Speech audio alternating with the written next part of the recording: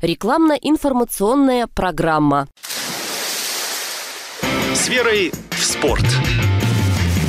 Доброго солнечного дня всем. Это программа «С верой в спорт». У микрофона Вера Власова.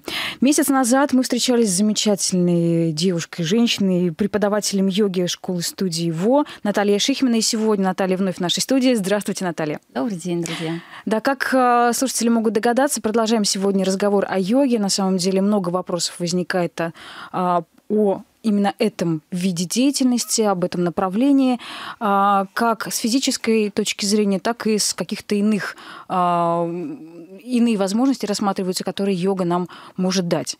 А, ну, начать предлагаю с небольшого ревью краткий экскурс в программу прошлую, месячной давности. Мы говорили, дали основные понятия базовые, что такое йога, для чего она нужна.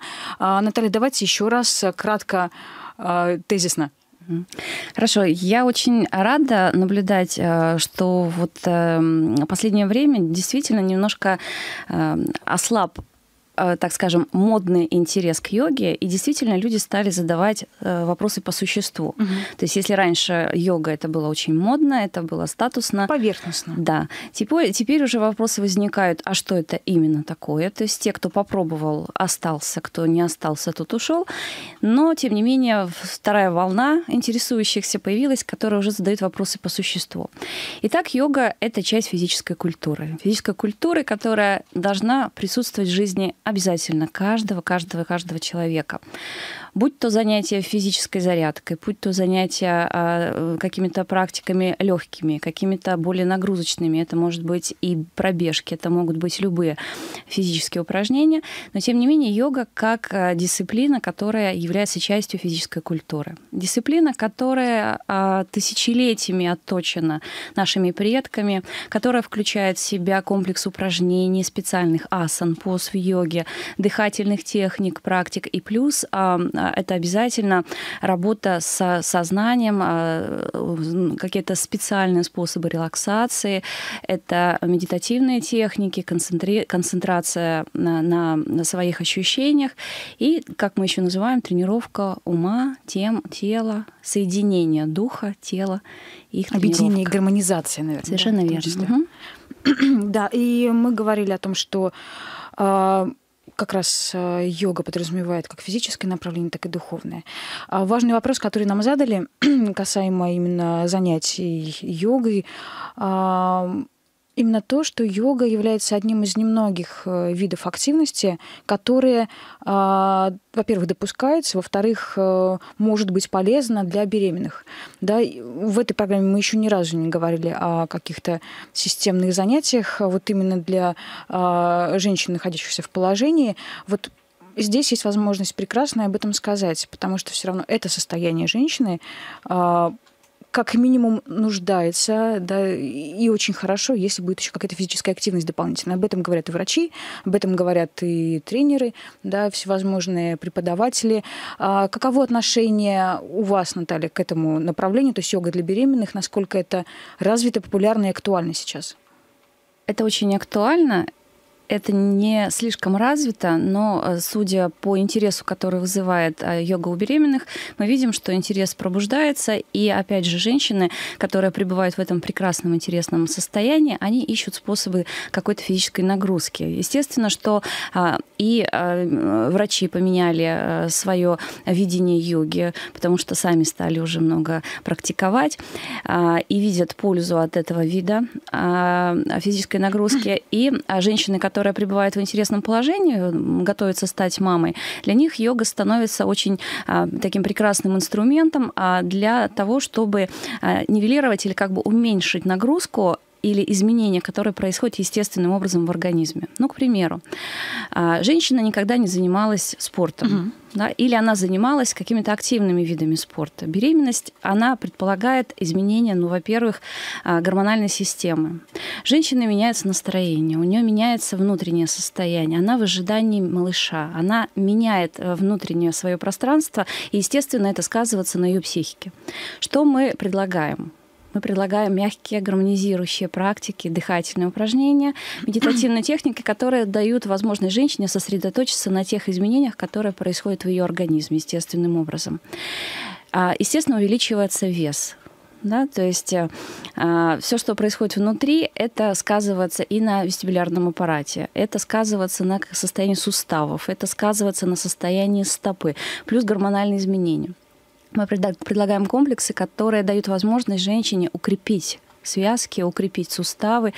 А, если необходимо а, увеличить гибкость и подвижность области малого таза, то, что готовит женщину к естественным родам. Плюс ко всему, а, постоянно увеличивающийся, увеличивающийся живот, он, естественно, давит на внутренние органы, и таким образом органы, поднимаясь вверх, затрудняют дыхание. И здесь вот дыхательные техники, они как раз становятся... Да, помимо насыщения кислородом организма мамы и, соответственно, организма малыша, у женщины появляется а, навык дыхания, а, так скажем, переднего, заднего, верхнего дыхания, когда не получается в полной мере вдохнуть, а дышать необходимо. Mm-hmm. И тогда вот э, дыхательные техники йоги помогают женщине как раз научиться правильно дышать, что а, уже в дальнейшем во время схваток, во время естественных родов это будет ей помогать. То есть учимся дышать правильно, учимся преодолевать а, вот эти вот краткосрочные а, моменты схваток при помощи дыхания. То есть мы это все отрабатываем. У нас очень много отзывов а, от наших а, егинь, которые проходят все это и пишут нам, что йога им очень помогла. Потому что во время родов у женщины меняется и, а, так скажем, психическое, эмоциональное состояние. В большинстве случаев, и это необходимо, это заложено природой, голова должна отключиться включаться должны природные инстинкты. И вот в этот момент женщина начинает вспоминать эти навыки, которые она приобретала во время а, йоги. Рефлекторно Да, да. И это все очень помогает и облегчить боль во время схваток, и помогает а, именно выходу малыша, потому что та энергия, которая у женщины скапливается внутри, и она естественным образом а, как бы направлена должна быть на малыша, иногда женщину ее отпускают в крик или в какие-то другие состояния, мне больно, там я сейчас что-то со мной произойдет, в страх что, естественно, не помогает малышу, естественно, выйти. И вот та сила, которую женщина учится собрать и помочь своему чаду выйти, такой стартап я называю, да, первый стартап, то есть то, что может помочь мама, это как раз э, помочь малышу, дать ему а, возможность а, благополучно поменять внутреннюю среду и выйти во внешний мир. Да, и чтобы ни мама, ни малыш в это время не испытывали минимальный стресс да, какой-то. Да. Да, и плюс ко всему вот это нахождение в единении, то есть то, что женщина приходит на занятия, а, это дает возможность соединиться вот с этим состоянием «я будущая мама». Да, или приходит за вторым, за третьим, когда э, со второй, с третьей беременностью, то есть женщины они понимают, что это необходимо, вот это сосредоточение. Потому что когда малыш выходит, они его воспринимают как частичку себя. И это очень облегчает э, общение мамы и дитя вот сразу после родов. Интересно получается, что, э, как вы сказали, с помощью физической нагрузки а, женщины освобождаются от нагрузки, которую не получают во время беременности. Ну, то есть нагрузка освобождает от другого, от другого вида нагрузки. А, это очень важно. И про дыхательные техники вы упомянули, хочется еще эту тему развить. А, это ведь касается не только беременных, да или э, совсем не только беременных, да и вообще довольно-таки популярный сейчас э, вид практик. Это вот дыхатель, дыхательные системы, технологии технологии. А, кому они еще могут быть полезны, в каких случаях и возможно ли этому научиться, если а, рассматривать дыхательные практики отдельно от йоги? Безусловно, дыш, дыхание – это жизнь, это э, первое, так что ресурс, первый ресурс, который человека а, необходим. Есть даже такая притча, когда поспорили пять органов чувств, и дыхание, кто из них важнее. Mm. Мозг стал арбитром, и в результате человек, э, зрение ушло, человек начал спотыкаться, но ничего с ним особо не случилось. Исчез слух, он пострадал, но ничего особенного не случилось. Исчезли обоняние, исчезло осязание, да, жизнь стала не такой насыщенной и яркой, но когда ушло дыхание, все закричали «возвращайся скорее». Почему? Потому что дыхание оказалось основой всех основ. Мы начинаем свою жизнь с первого вдоха и заканчиваем последним выдохом.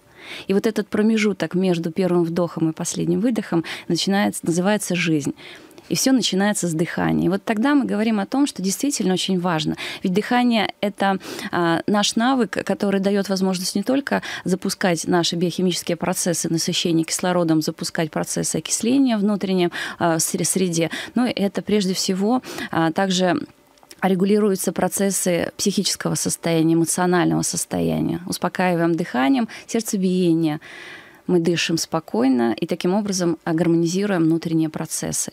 И поэтому человеку в любом возрасте, безусловно, необходимо дышать дышать, учиться дышать правильно, расширяясь. Эффективно, эффективно да. И плюс, когда мы с вами задействуем а, нашу диафрагму, дыхательную, основную дыхательную мышцу, мы говорим о том, что мы включаем второе сердце, потому что нашему сердцу все равно нужна помощь и поддержка. У него достаточно силы, чтобы протолкнуть кровь в основное русло, но чтобы вернуть кровь, недостаточно силы. И вот тогда человек, когда начинает активно использовать дыхательную диафрагму, а, работает а, с брюшным дыханием, с диафрагмальным дыханием, дыханием, таким образом а, способствуя а, оттоку крови от нижних конечностей, то есть так называемый обратно-венозный отток происходит.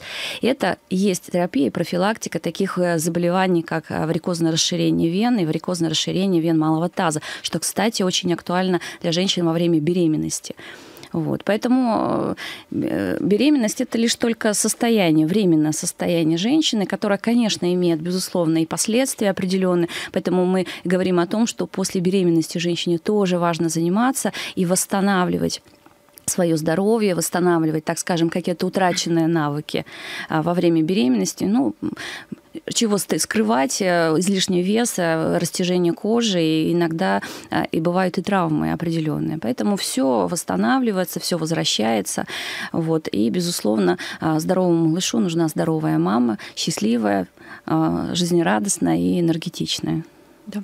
Энергетичная слово хорошее сказали. Да, еще пара слов о дыхании. А, это же настолько важная часть, а, в том числе и спортивной составляющей.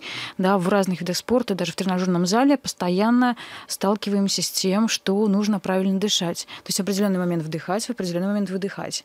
Да, а, это связано в том числе и с работой мышц, да, я так понимаю? Безусловно, да. Разный тип дыхания, он э, выполняет разные задачи.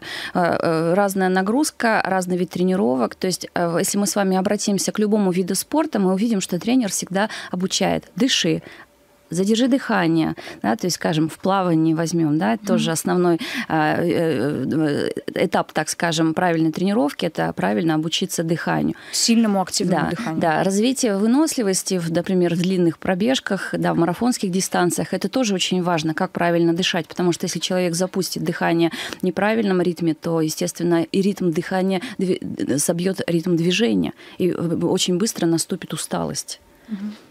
Да, так что дыхание очень важный элемент э, любой тренировки, любой физической нагрузки. Нужно обращать на это внимание. А, по поводу беременности еще несколько вопросов. Э, с какого срока можно ходить э, в группы йоги для беременных? А, вы уже сказали, упомянули о том, что можно не иметь какой-то определенной физической подготовки, да, чтобы отправиться на такие курсы. А, и всю ли беременность а, йога может сопровождать? Да, обычно, когда нас, нам задают такой вопрос, мы всегда спрашиваем, а, какой у вас срок, есть ли какие-то противопоказания. То есть обычно где-то до 12-13 недели мы рекомендуем воздержаться от, интенсивных нагрузок, от каких-то, или, скажем, каких-то а, мероприятий физической нагрузки, которые раньше женщина не испытывала. Да? И как только исполняется 13-14 а, недель, мы говорим, окей, если ваш доктор, наблюдающий ваш врач, не возражает, если все в порядке, то приходите, пожалуйста. А ограничение в сроках, до какого срока ходить, это определяет сама женщина женщина. Обычно у нас ходит до последнего срока. Иногда сегодня говорят э, «до свидания». Похоже, я, говорит, завтра уже э, уйду в другое, в другое учреждение. Да, да. И да, действительно, женщины чувствуют, потому что йога, она а, вот таким, скажем, Дополнительным бонусом а, в йоге является открытие каких-то чувствилищ, как я называю. То есть человек начинает чувствовать а, то, что с ним происходит. И вот это вот состояние а, приближающихся родов, как правило, женщины чувствуют уже. Mm-hmm. Вот, поэтому ну, можно до конца. Если нет противопоказаний с точки зрения медицинских каких-то, то, пожалуйста, заниматься можно в любое время и до конца беременности. Ну и само понятие физическая нагрузка, как вы тоже характеризовали йогу, все-таки э, насколько сильна эта нагрузка именно?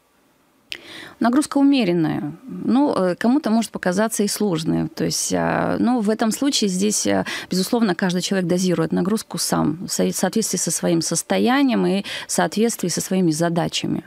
Безусловно, мы проговариваем всегда, для чего это упражнение делается, на что а, а, эффект идет, на какие внутренние органы, на какие системы, что это дает, и женщина сама может определить, с какой сегодня интенсивностью заниматься. Потому что настроение меняется, самочувствие меняется. И иногда, конечно, те перемены, которые происходят с женщиной во время беременности, для нее бывают ужасом ужасным, да, потому что многие женщины просто не готовы к этим переменам, и ее охватывает чувство депрессии, чувство а, какой-то даже неуверенности, нестабильности. И в этом случае йога, конечно, помогает очень. Безусловно, это э, инструмент такого эмоционального равновесия.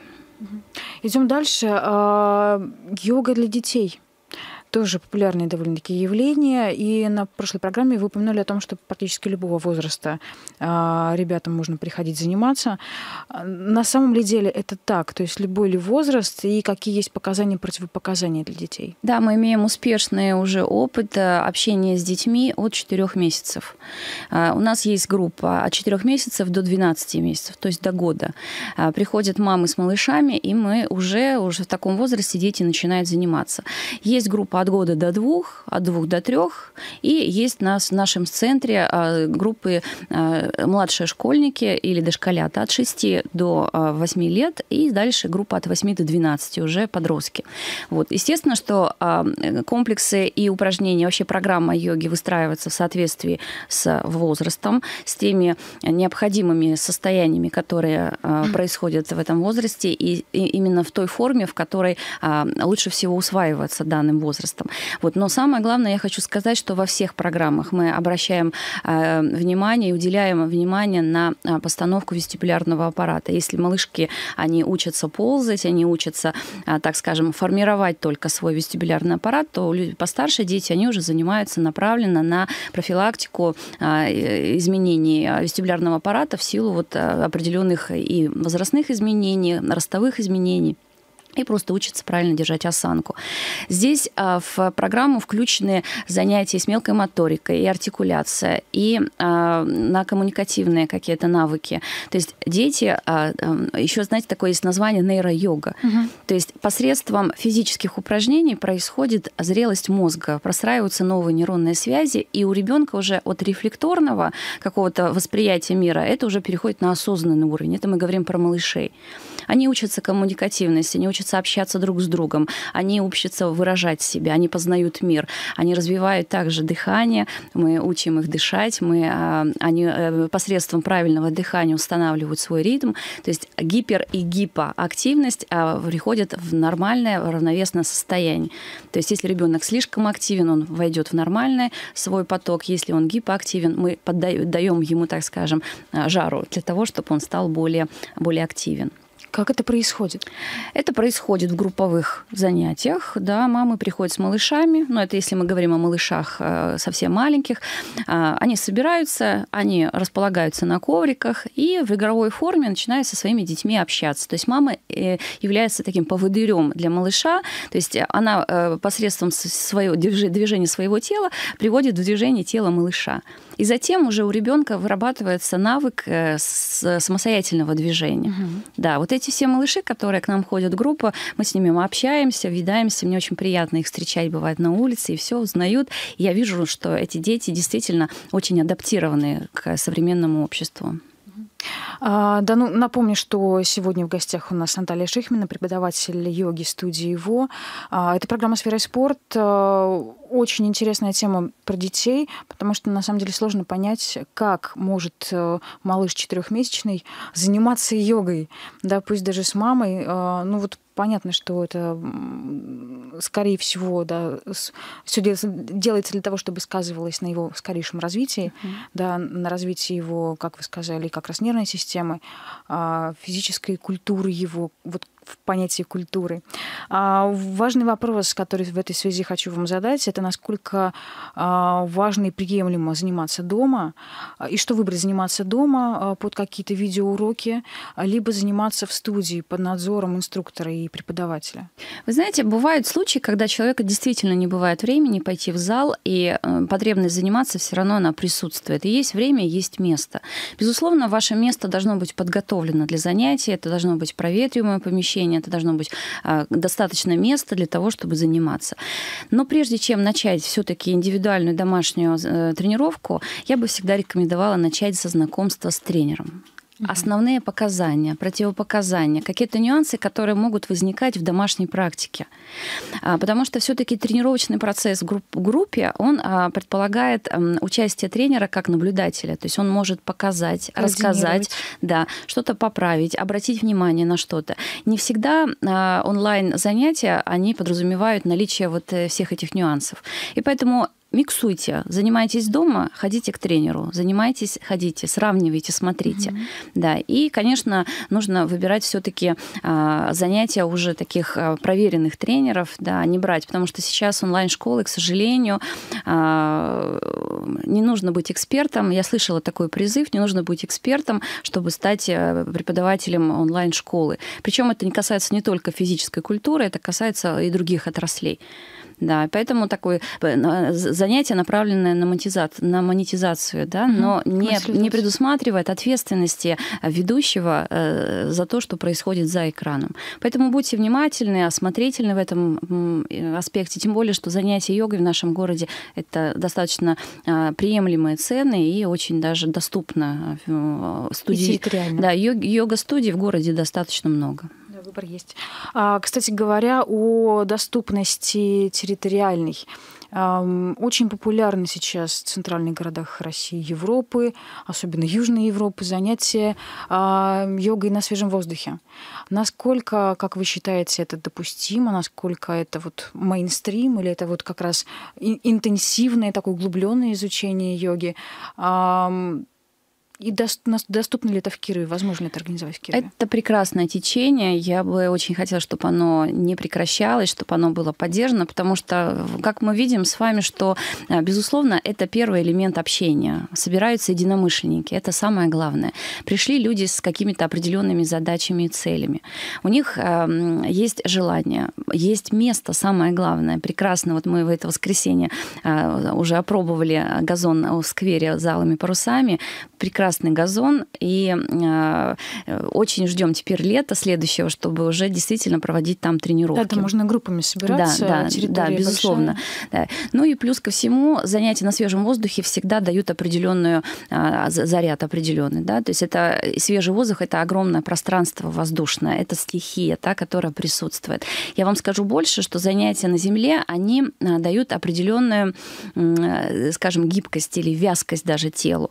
Ну, как бы то ни было, это такие мои наблюдения. И а, когда мы с вами стоим босиком на земле, mm-hmm. вот эта некая невидимая связь, которая происходит тела и земли, оно придает нашему телу а, какую-то подвижность. Ну, известно, что земля снимает э, болевые ощущения, заряд, заряд да, из тела забирает. Ну, безусловно, длительное нахождение на земле не, не нужно это практиковать. То есть достаточно пообщаться с землей. Вот. И э, уже дальше, в дальнейшем, когда мы практикуем какие-то асаны и позы, э, выстраиваем, а, вот оно тело просто начинает течь. Вот оно прямо э, стремится к тому, чтобы приблизиться к земле. И я всегда, когда работаю на газоне, мы всегда обязательно практикуем асаны на растяжки, на вот, угу. скажем, э, такие как хануманасана, это шпагат. Да, они реально получаются у людей гораздо лучше, нежели это происходит в зале на, на коврике.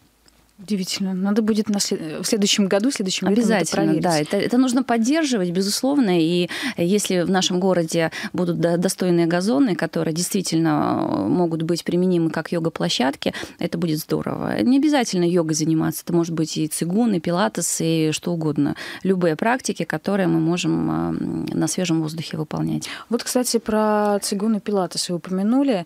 А, тоже много вопросов задают. Э, в чем общее отличия и, и, и каковы отличия между йогой, цигун э, и пилатесом, да, потому что ну, статика везде есть, растяжка везде есть. А, в чем разница?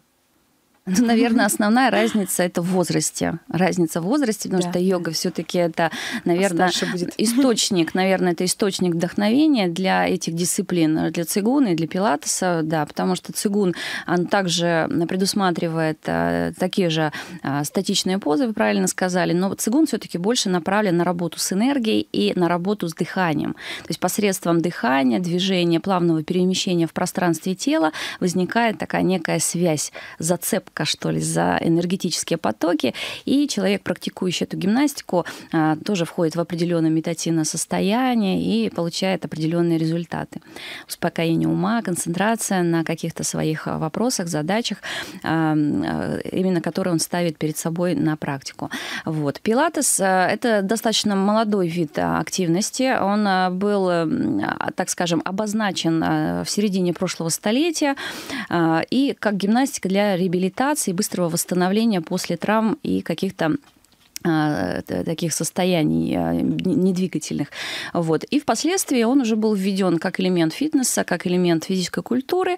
Тоже используются статичные упражнения, но там, в отличие от йоги, больше динамичных а, движений. То есть даже если мы с вами сравним принцип дыхания, то в йоге дыхание, оно может быть использовано как элемент э, как бы отслеживания за движением тела, как дыхание сопровождает движение тела, то в пилатесе там а, дыхание, например, нос, выдох ртом идет.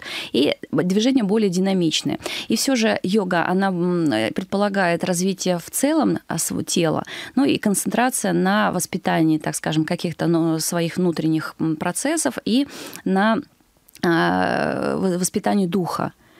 А в то время как пилатес – это такая, скажем, дисциплина, которая больше направлена на коррекцию физического тела. Угу. То есть духовная составляющая, она присутствует во всех физических культурах, но в йоге она представлена наибольшим образом.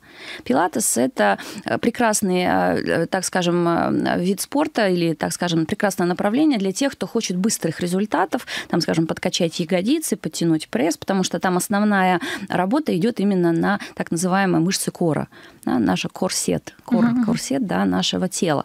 Вот, в то время как йога, она все-таки такая более разносторонняя да, практика.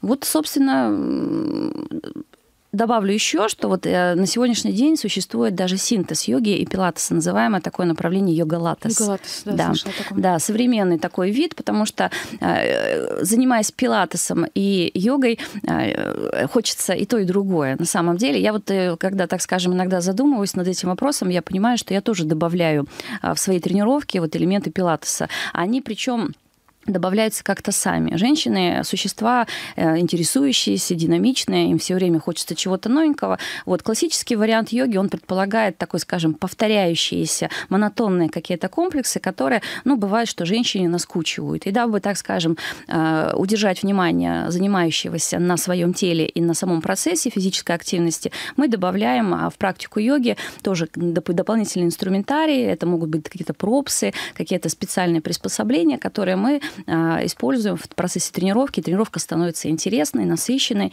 и причем мы не отходим от регламента, от наших основных задач воспитания и тренировка силы духа, выносливости. Да, один из самых важных показателей. А, Наталья, слышала я о том, что у вас э, в ближайшее время планируется ряд мероприятий, да, в частности, группы стартуют, насколько я понимаю. Да, да, я э, хочу вам сказать, что вот э, йога для беременных, если мы uh-huh. будем говорить, это постоянно действующая группа, туда можно вливаться с любого срока, часто спрашивают, мы не делим на триместры, день, да, да uh-huh. во время практики мы оговариваем, что вот, например, для первого триместра то-то, то-то, для второго то-то, то-то, для третьего то-то, то-то, потому что организм меняется, меняется, но тем не менее основа все равно остается единой. А, и вот мы уже буквально 12 сентября открываем новый учебный год, новый сезон для малышей. Мы а, уже в ближайшую среду, а, это то бишь через неделю, через неделю. да, у нас открываются группы. В 9 часов первое занятие малыши к нам приходят расписание, все условия, мы, у нас это все в наших группах, в социальных сетях, это все есть, можно позвонить, все узнать. Вот. Соответственно, 0 плюс мы указываем, да, что... А, да, 4. 4 месяца Да, плюс. 4, да. Ну, Такого нет, поэтому да, говорим, да, да, мы даем возможность маме три месяца как раз вот эти вот самые главные, основные. Я даже, знаете, пользуясь возможностью, хочу обратиться к молодым папам и к бабушкам, к дедушкам, вообще к семье а, новорожденного и молодой мамы.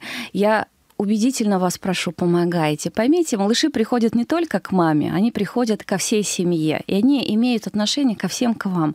И поэтому, когда вы будете относиться а, и к маме, и к малышу с умеренной заботой, освободите, пожалуйста, молодую маму от всех домашних дел. Дайте ей возможность побыть с малышом, восстановить здоровье. Поймите, а 9 месяцев мама меняла свое физическое здоровье. Ей необходимо, ну, как минимум, столько же времени, чтобы вернуться хотя бы в какую-то минимальную форму и освободите ее от домашних дел. Гуляйте сами с малышом, дайте маме полежать, восстановиться, потому что те изменения, которые происходят в организме женщины, растяжение внутренних связок, э, э, те физические изменения, они очень сказываются потом на здоровье, и бывает так, что через 10 лет э, это бывает таким неприятным ау, возвращается в здоровье женщины. Самое главное – это любовь, забота. И дайте маме отдохнуть восстановиться. Ее забота – кормить малыша. И тогда у нее будет достаточно и молока, и она будет в хорошем настроении, всегда будет рада. А ведь молодой маме еще очень важно следить за собой. Вот, чтобы у нее было время в зеркало посмотреть, и в магазин сходить, купить что-то новенькое и порадовать себя. И тогда вся семья будет счастлива от такой прекрасной молодой мамы. Далее просто нега для ушей. Спасибо большое от всех, наверное, беременных э, женщин и мамочек. А, и еще хочу заметить. Форум. Мы забыли сказать про Форум. мама-форум, да, что Так. 9 сентября в Юркин парке будет прекрасное, уникальное мега-предприятие «Мама-форум». И Мы тоже участвуем в этом мероприятии. У нас будет площадка представлена, где мы ждем будущих мам, мы ждем действующих мам, да, и мам, которые готовятся стать ими. Стать да, на нашей площадке мы будем рассказывать. Мы планируем, что на нашей площадке будет присутствовать наш друг, э, до- доктор, врач-гинеколог, эндокринолог. Вот. И мы с Натальей, с нашей ведущей э, пренатальной йоги будем рассказывать, показывать и ответим на все интересующиеся вопросы, которые появятся у наших гостей. 9 сентября это будет в Юркин парке. Да, в и в 11 этот же часов. самый в 11 Да, часов. да. И в этот же самый день Да. мы уже на театральной площади Да, состоится да, другое мероприятие, да. в котором а, тоже Да. а, студия ВО принимает участие. Это пол- а, марафон Вятские холмы, который мы уже анонсировали неоднократно в этой студии, не только в этой студии. А, будут представители студии Да. ВО на площадке, с которыми можно будет подойти пообщаться. Да, да, мы планируем, что мы даже принесем некоторый видеоряд, мы покажем наши залы, покажем, что мы занимаемся, будут тренеры раб- работать на площадке, те, кто действительно проводит наши занятия.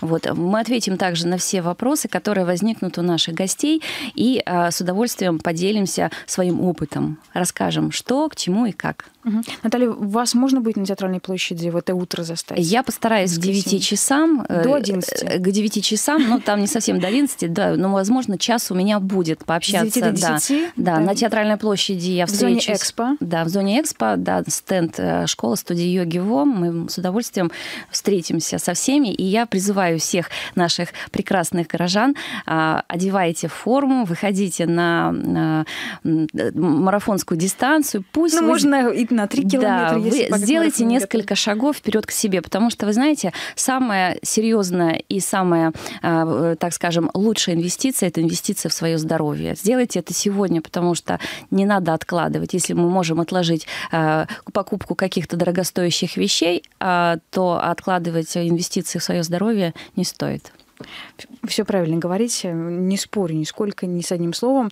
Ну и раз уж мы заговорили о Вязких холмах, а, предлагаю послушать ам, замечательный гимн, песню, которую написали ребята из Dance People для Вязких холмов специально.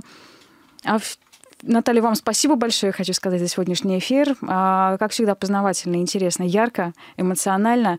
Да, и ждем вас снова в этой студии. Спасибо всем. До встречи. До свидания. До свидания.